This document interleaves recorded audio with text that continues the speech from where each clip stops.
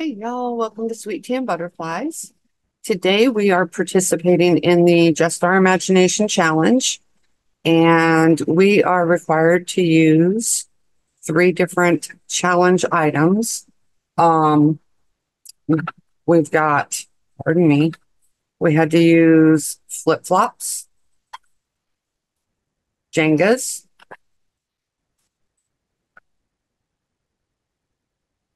and a placemat. I have so much fun doing these challenges because it makes me think outside the box. So I will leave the information um, for, well, we'll get into the information for this um, challenge here in a few minutes. Um, all of the links will be in the description box so that you can follow the playlist. Um, I am also, I also wanted to give a shout out to Cindy with Z9 Designs. Um, in one of the other collaborations that we, uh, that both of us were a part of, she was doing a giveaway. And she, uh, my name was one drawn and I won. And this is what I don't know if you can see it very well, but I'll take a picture of it too. Really pretty necklace that she made. Got a lot of little glittery pieces in there.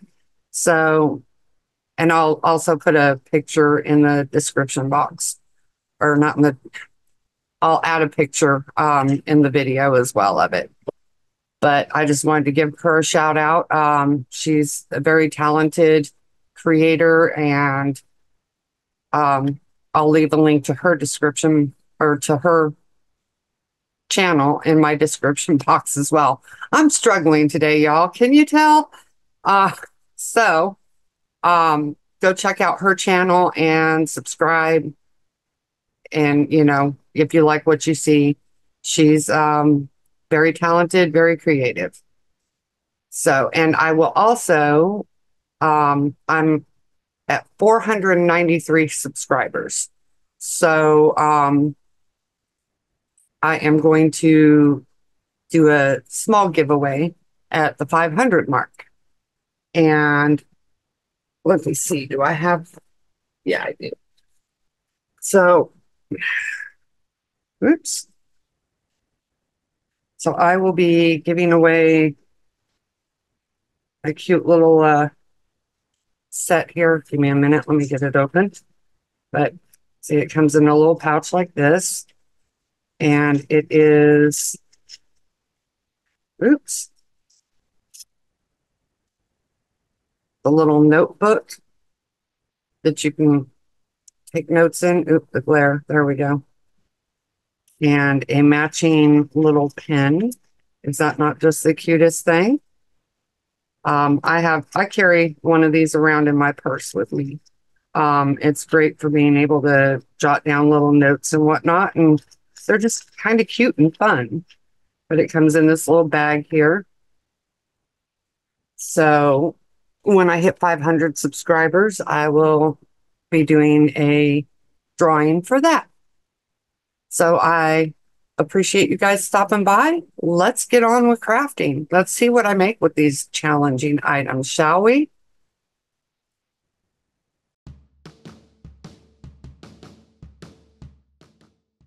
All right, y'all, it's time to see what I do with these interesting items. This is uh, part of the July's Just Our Imagination uh, collaboration. Our host hosts are Kathy Jo with Kathy Jo's DIYs, Brenda with Rustic and Lace, and Craft Crumbs. So I will leave the description, uh, each of their uh, links and the link to the playlist in the description box below. Please go check out um, the playlist and everybody else. Um, we all get very creative with some of these challenging items that they come up with for us to work with. So here I am. This is, you know, using the flip-flops element uh, that we're required to use. And these were just too big for what I the idea I had come up with. So I traced um or I didn't trace, I just kind of drew the basic outline of a flip-flop smaller on those and then cut them out as you see here. And then I took uh, some of this burlap ribbon from Dollar Tree. It's got like the burlap and the um, and twine on it, the the white twine with a little pattern, and I just go around and outline both of those mini flip flops with that.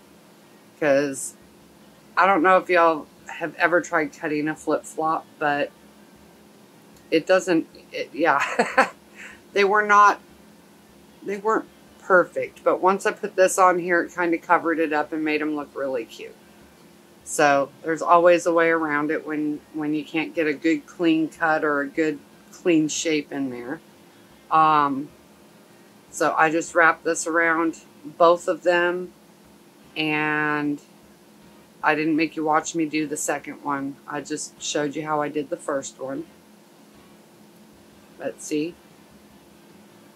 Then I took some jute twine, took three pieces of it.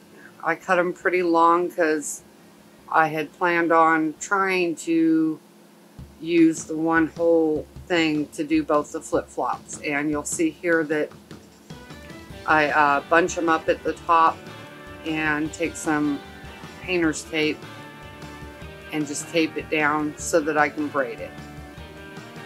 So I just did, went through and braided the whole thing. and you could see from the, the first clip there that I've got like a long um, tag sign that I'm working with. And I painted it uh, I painted it with the, the white and then um, decoupaged on it. Um, I don't think I have all of the footage of that because I had to step away and go somewhere else where I didn't have my camera. Um, but what I did with that was I painted it white, then I coated it with Mod Podge, and I took my printout um, after the Mod Podge dried and I used the iron-on method and placed that down on there, which you'll see here in a few minutes, um, the printout and whatnot that I put on there. So here I'm just making the strap of the sandal. Um, I folded the, the braid, glued it down, folded like that, and then um, glued it at the back sides there. And I'm sure you guys might be wondering about my interesting coffee cup. Um, my first husband um, got into leather working there for a while and he made me a um, coffee cup. He had taken and, and used the, the leather made the and wrapped it around a mason jar with a handle. Um, he put a butterfly on it and put my name on it. Um, we lost him a few years ago, and um, that is the coffee cup that I I use. Um, you you wouldn't know that at the time that he passed away, we had been divorced for probably 20 years. We just, in our efforts to effectively co-parent our child, um, you know, we took the stance that once our divorce was final, our problems were over and focused on co-parenting. So we ended up becoming best friends um, through the years uh, with co-parenting and, and, whatnot. So, um, but yeah, he, he made me that coffee cup and um, it's just a really cute, unique coffee cup. So I really loved it and I use it every day.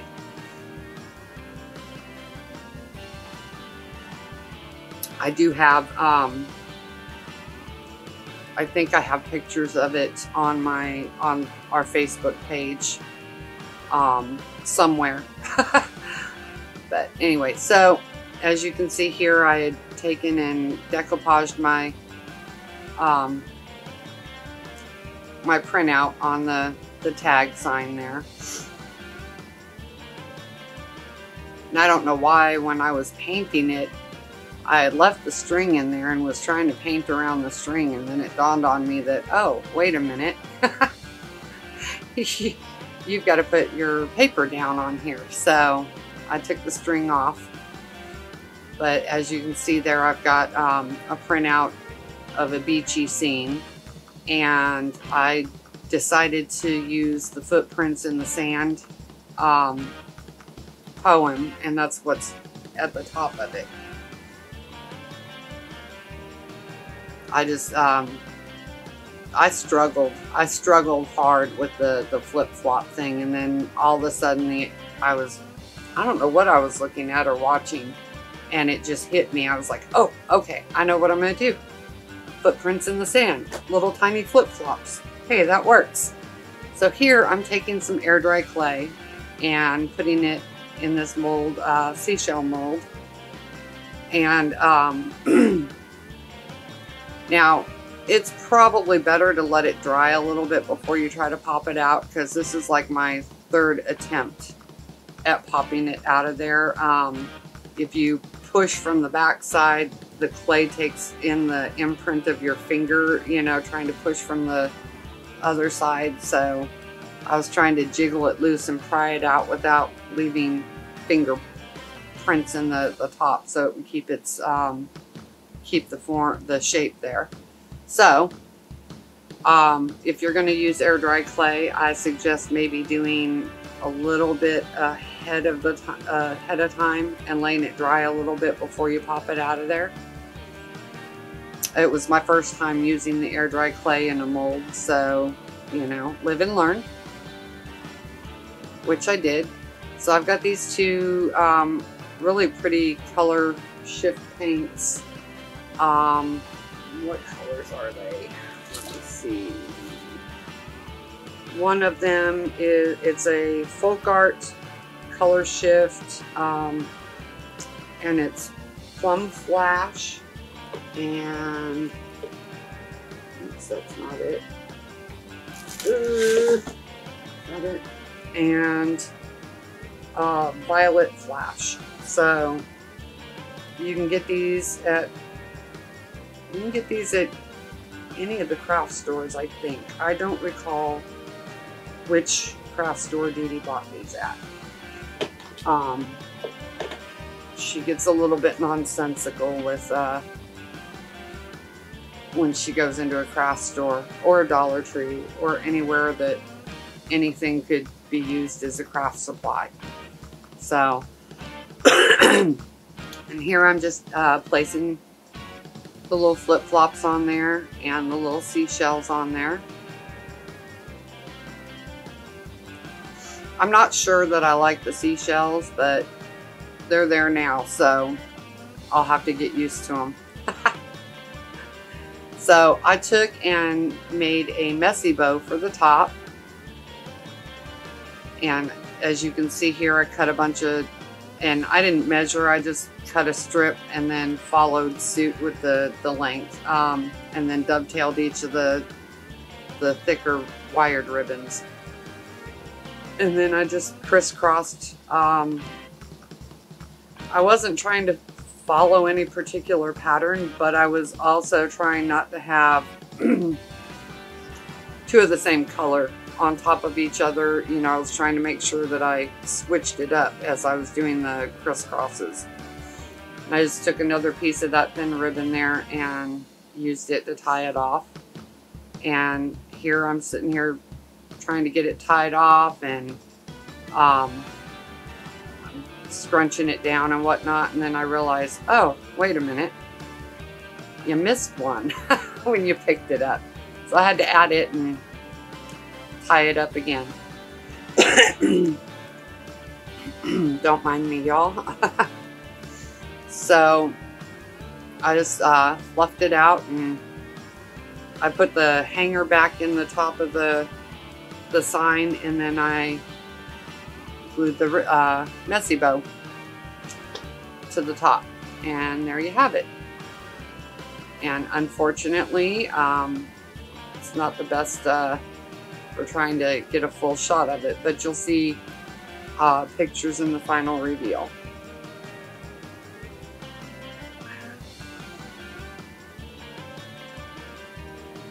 Now we are on to DIY number two, maybe.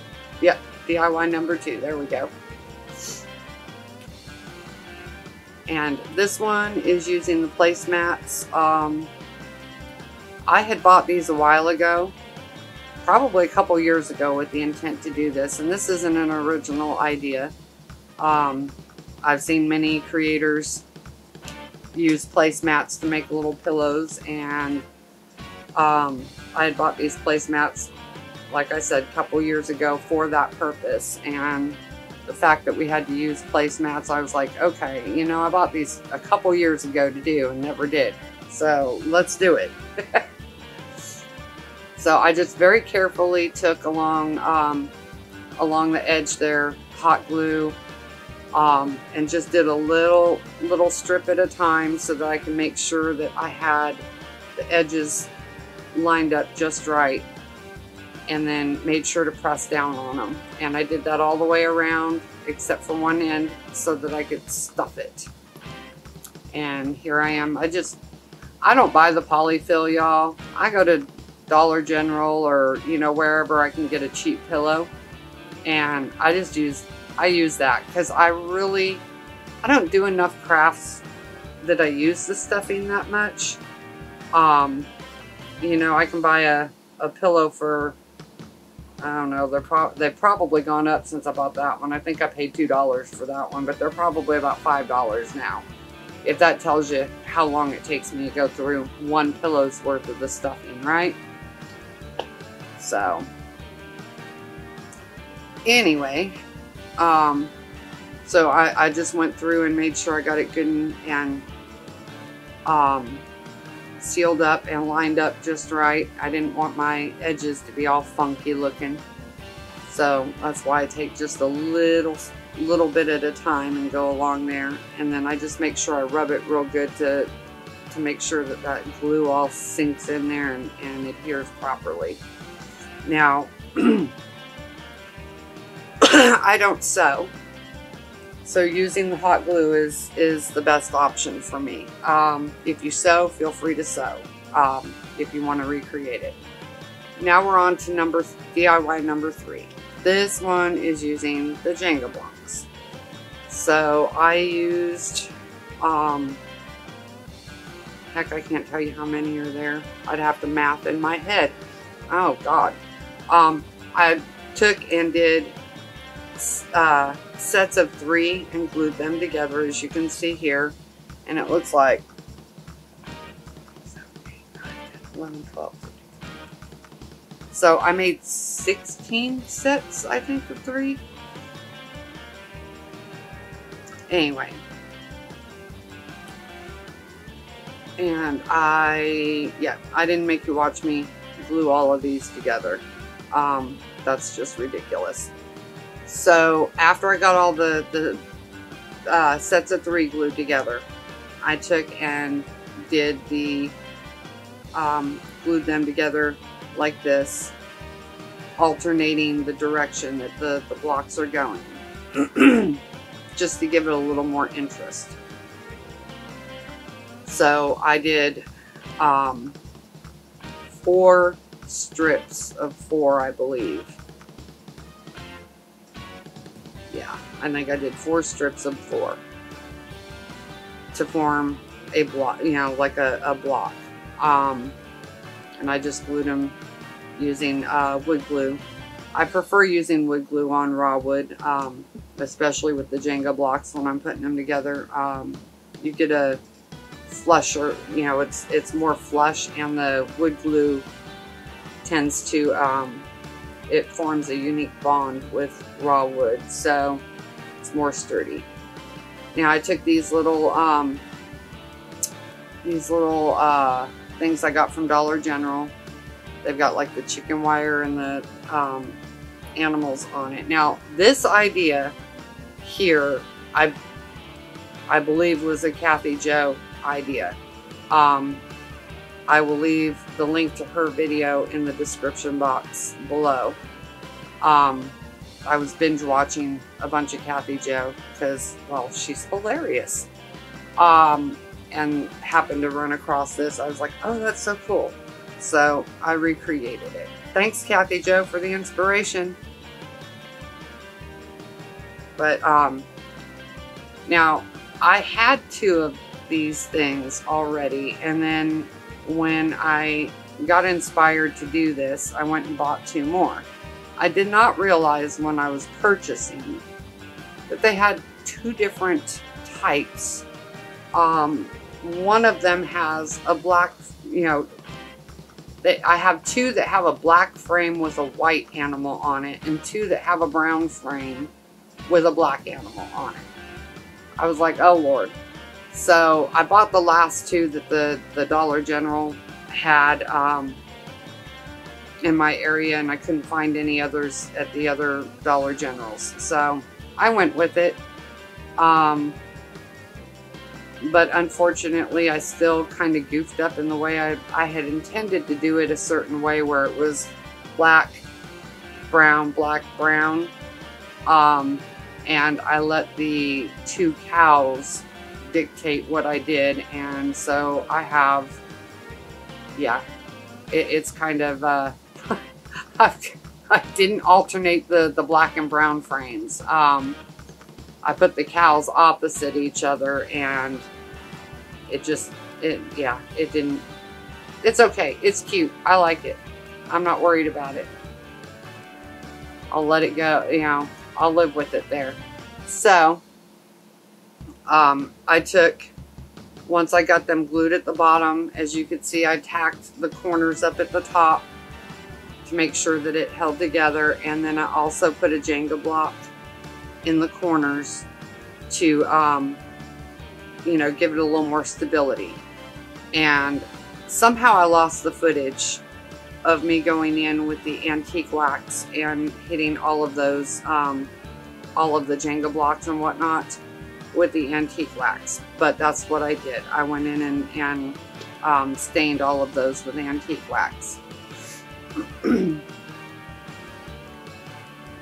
so anyway, y'all, I appreciate you coming, uh, stopping by and watching the video. Please check out the playlist.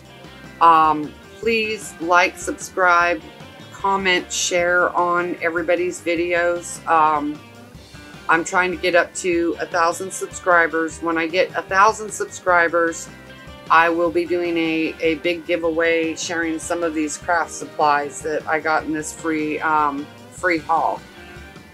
So when I get to a thousand, we'll do that giveaway. I've got a smaller giveaway. Um, once I hit 500, I'm at 493. So hopefully by the end of this uh, run of videos, I will hit that 500 mark and I'll do that giveaway as well and I showed you what I was giving away for that one um, at the beginning of the video. But see, here's my little uh, crate box here. So I appreciate and love all of you guys, um, all of you that continue to support me. Oh, and also, here's the necklace that Z9 Designs made and sent to me. Um, thanks so much for watching, y'all. Have a great day.